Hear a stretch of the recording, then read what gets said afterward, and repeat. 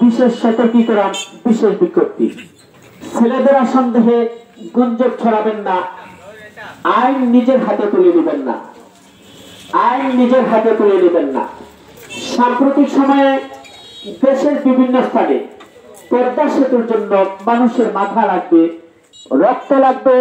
এই গুঞ্জবে দেশের বিভিন্ন স্থানে বেশ কিছু লোক নিহত হয়েছে। গণপিটুনিতে অংশ নিয়ে আইন নিজের হাতে তুলে নেবেন না। গণপিটুনিতে অংশ নিলে ফৌজদারি আইনে দণ্ডনীয় অপরাধী হবেন না। কাউকে সন্দেহ হইলে নিকটতম পুলিশ বাড়ি থানাকে জানাবেন।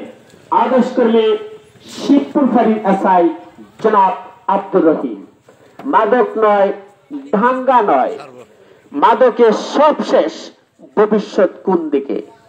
চলে যাই যুদ্ধে মাদকের বিরুদ্ধে।